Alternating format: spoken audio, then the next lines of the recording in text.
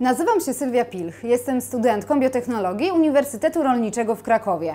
W Instytucie Chemii Fizycznej Polskiej Akademii Nauk prowadzę swoje badania do pracy magisterskiej. Nazywam się Artur Ruszczak, jestem mikrobiologiem i doktorantem w Polskiej Akademii Nauk w Instytucie Chemii Fizycznej.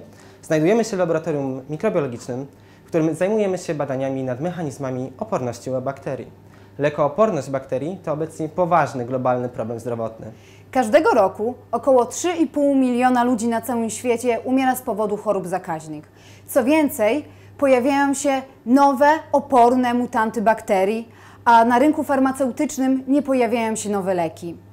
Jednym słowem, bakterie wygrywają walkę z antybiotykami, tym samym przejmując nad nami kontrolę. Nasze urządzenie składa się z mikrokomory inkubacyjnej, w której komórki bakteryjne są unieruchomione i mogą się namnażać. Do komory dostarczana jest świeża pożywka z antybiotykiem, którego stężenie możemy dowolnie zmieniać w czasie.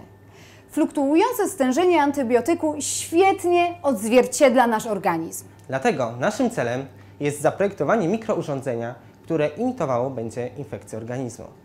Mamy nadzieję, że kiedyś opracowana przez nas metoda używana będzie w laboratoriach całego świata do badań nad farmakodynamiką leków.